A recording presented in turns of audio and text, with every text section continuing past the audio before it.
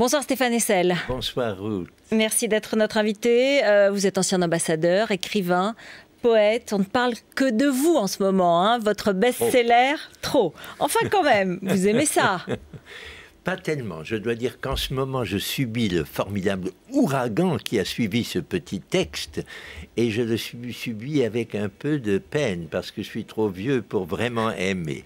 En Cela dit, on est toujours content quand quelque chose qu'on fait a du succès. Évidemment, 1 400 000 exemplaires vendus, traduits dans 22 langues, euh, un phénomène éditorial. Indignez-vous aux éditions indigènes. Alors, euh, bon, votre personnage, vous avez 93 ans, vous avez traversé le siècle, vous êtes né en 1917, la date de la révolution russe, euh, et vous avez assisté, vous avez participé à la, rédaction de la Déclaration des droits de l'homme, vous avez été ambassadeur de France, évidemment, et vous regardez comme nous l'actualité, c'est là-dessus que j'aimerais vous entendre. Et puis aussi, on va revenir sur votre livre, qui est un grand succès, mais qui a quand même aussi suscité quelques critiques. Naturellement, et à juste titre, parce que le titre même est un peu provoquant, et on peut très bien se dire, ça sert à rien de s'indigner si on ne fait pas quelque chose. Je souhaite naturellement qu'il y ait une suite à ce petit pamphlet, et on va y arriver. Mais ce qui me frappe, c'est que nous vivons un moment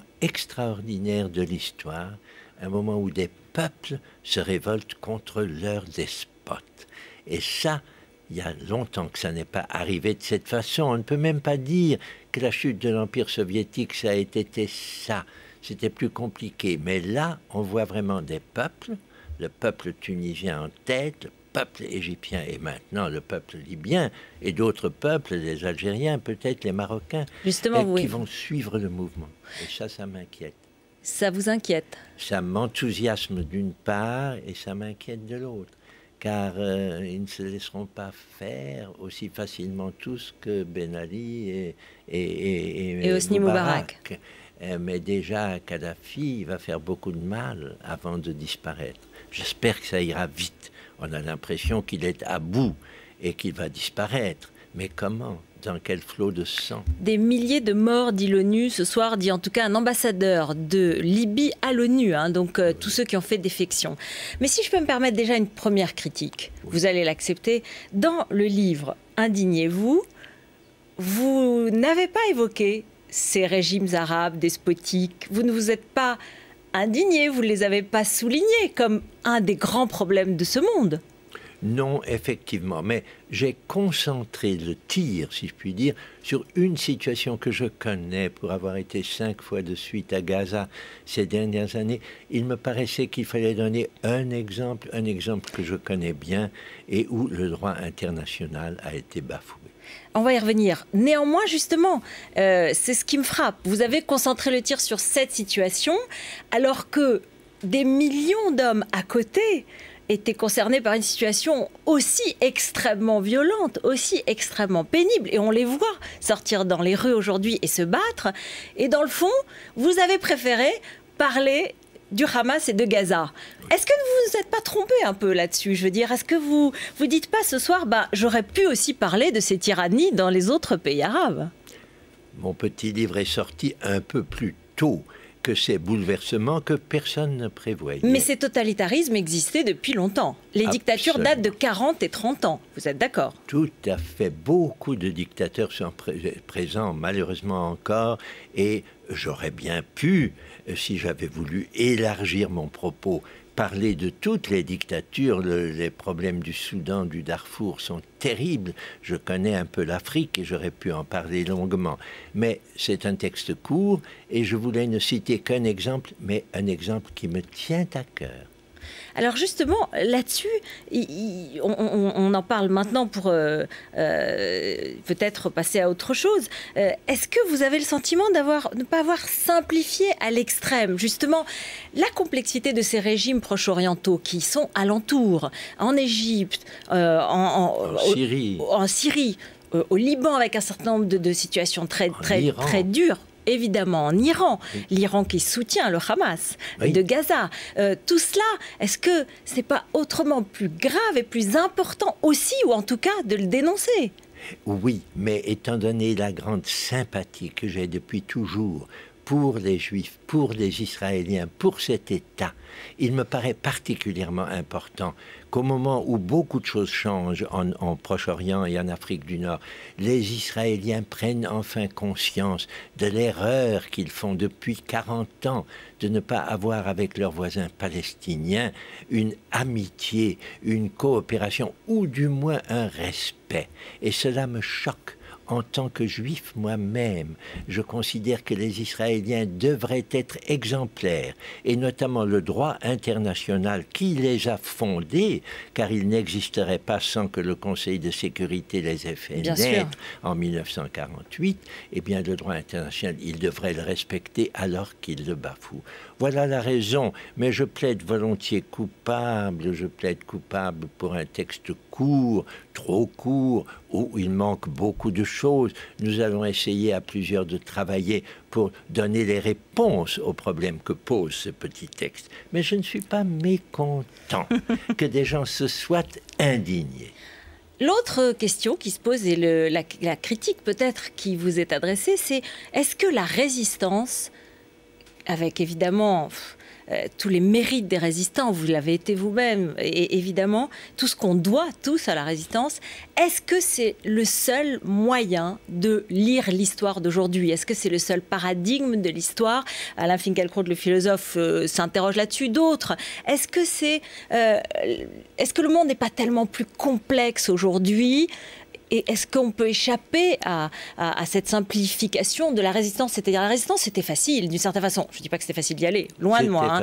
Non, c'était pas facile, mais c'était le bien. C'était clair. Voilà. C'était clair. Aujourd'hui, c'est beaucoup plus complexe. C'est pour ça que je me réfère toujours à mon grand ami, l'écrivain Edgar Morin, qui nous a enseigné la complexité. Le livre qu'il vient de publier, qu'il a appelé La Voix, est, à mon avis, la vraie réponse à mon petit indigné vous. Je veux qu'on s'indigne pour chercher la façon de sortir des plus gros problèmes qui sont aujourd'hui devant nous. La terre, d'une part, extrêmement important, nous l'avons meurtrie, nous l'avons martyrisée, il faut la sauver. Vous êtes écologiste. Dans votre prochain livre qui s'appellera Engagez-vous, vous plaidez pour l'écologie, n'est-ce pas? Tout à fait. Je suis convaincu écologiste. Je considère Danny Cohn-Bendit comme un des Européens intelligents qui doit nous aider à comprendre un certain nombre de choses. Et je suis encore une fois admiratif devant des gens qui apportent les réponses. Un homme comme Joseph Stiglitz, comme René Passet, ceux qui sont allés à Dakar pour le Forum social porte des valeurs, que porte aussi mon amie Martine Aubry. Je pense que c'est elle qui pourrait nous donner un gouvernement français un peu moins flou que ne l'est actuellement quand on l'a vu à Ankara. On est un peu catastrophée. Oui, vous avez euh, trouvé que Nicolas Sarkozy mérite toutes ces critiques de, ce groupe de diplomates qui s'appelle Marly et qui critique l'impulsivité, la politique des coups, l'amateurisme, je cite. Je me sens très d'accord avec eux, bien que je n'ai pas signé leur texte moi-même, mais je crois que nous avons besoin d'une vraie réforme de la politique étrangère française. Elle doit être claire, elle ne l'est pas. Elle doit être courageuse, elle ne l'est pas. Il y a donc beaucoup à faire. Par exemple, si on parle du départ de Michel Alliot-Marie, vous, vous verriez quelqu'un à droite, à l'UMP, qui pourrait rehausser le, euh, le flambeau euh, au Quai d'Orsay? Écoutez, franchement, on parle de Juppé. Juppé a été un excellent ministre des Affaires étrangères. Il connaît la maison et il l'a défendu très bien, mieux que d'autres ministres des Affaires étrangères.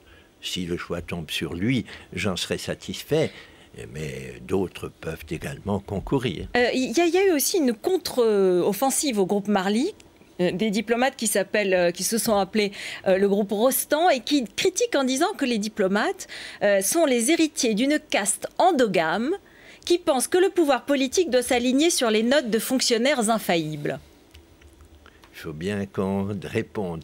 N'est-ce pas, c'est merveilleux. Quand en France, on sort quelque chose, par exemple, indignez-vous, il y a toujours quelqu'un qui dit c'est mal. Et les gens de Marly trouvent enfin, en face d'eux Edmond Rostand, un autre grand café près du Luxembourg. Euh, qui a raison Ni les uns ni les autres. La diplomatie est un art difficile. L'influence des diplomates sur leur gouvernement a cessé d'être déterminante pour une raison qui me choque particulièrement. C'est que nous vivons sous la l'oppression des questions économiques et financières. On fait plus attention à ce qu'on obtient sur le plan économique et financier qu'à l'honneur du pays que les diplomates essayent de sauvegarder. Et qu'au grand principe. Juste une dernière question. Sur la Libye, par exemple, vous seriez au Quai d'Orsay aujourd'hui, ou vous seriez dans la politique aujourd'hui, vous diriez qu'il faut intervenir militairement pour aider les Libyens? Écoutez, nous avons fait une chose du temps de Michel Rocard. Nous avons défini ce que c'était qu'une ingérence à l'encontre même d'un pays. Nous l'avons pratiqué contre Saddam Hussein en protégeant les Kurdes. C'est une bonne façon. Est-il encore temps? N'est-il pas trop tard concernant la Libye? En tout cas, je trouve que le droit international doit primer et qu'il faut intervenir lorsque le moment le le, présente comme possible. Merci beaucoup d'être venu sur le plateau de BFM TV. Merci à vous. Merci Stéphane Essel. Euh, on se retrouve dans un instant pour notre duel du vendredi entre Patrice Vessac et Eric Brunet. Et puis c'est le journal de Céline Pitlet. On reparle bien sûr de la Libye. A tout de suite.